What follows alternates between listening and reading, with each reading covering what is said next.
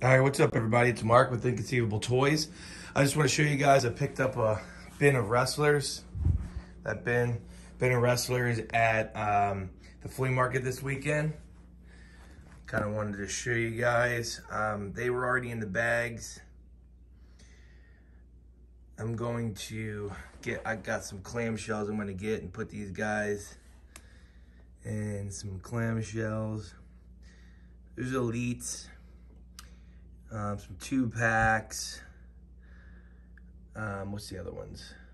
Um, the basics. And there's some like Jakks, some uh, a few older Jakks in here.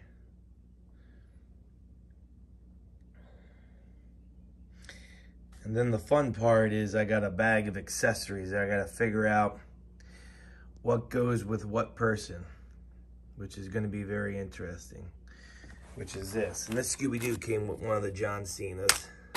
Here's my bag of parts. Right, guys, that's um, all the wrestlers I got. Just wanted to lay them out and show you. I'm gonna add this to my uh, Instagram. I'm gonna add it to, for Inconceivable Toys, I'm gonna add it to my YouTube page, guys. Please check all that stuff out. And uh, thanks for watching. I'll talk to you later.